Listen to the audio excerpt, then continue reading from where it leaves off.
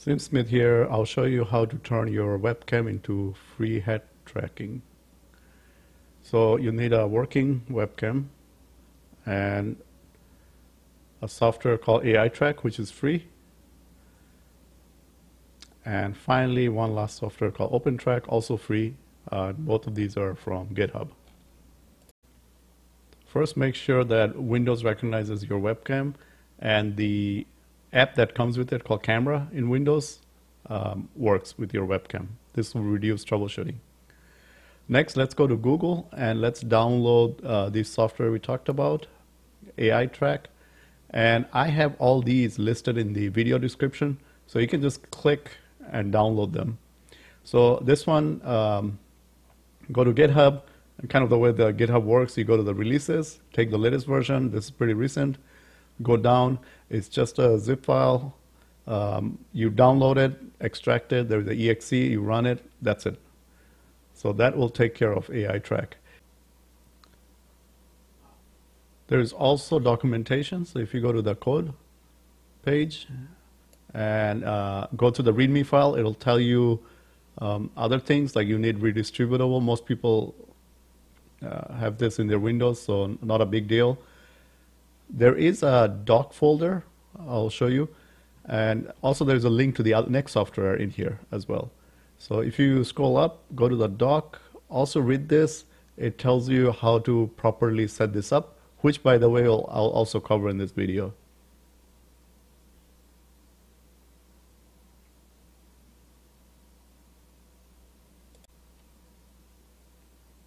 Next software is OpenTrack, same deal, Google, GitHub. I'll have this linked as well. And you take the latest version. And this one is, uh, you have multiple options. I choose the 7Z one. You can unzip it. And there is an exe in there. It'll just run.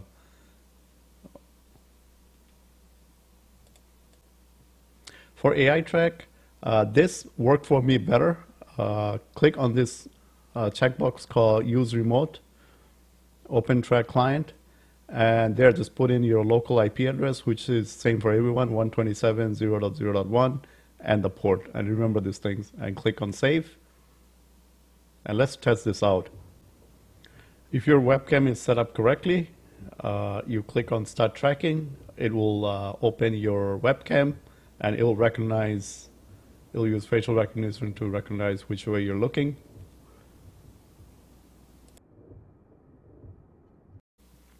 Next, let's uh, configure OpenTrack. And uh, they recommend to create a new profile so you can have a different profile for different games because sensitivity and things like that are a little different. So for example, here I'll just create a profile for X-Plane. And uh, let's go over some of the settings. So you want the input to be UDP. Under the UDP setting uh, next to it, click on the hammer, and that port needs to match the port you have on the AI track.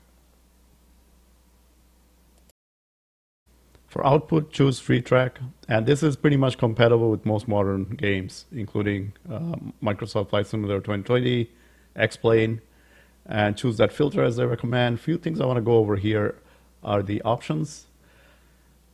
And for example, I kind of disable most of my stuff. I only use uh, the tracking to look left and right. Uh, so you can enable and disable whatever works for you. I do want to mention that hardware tracking is much more superior and preferred than this method.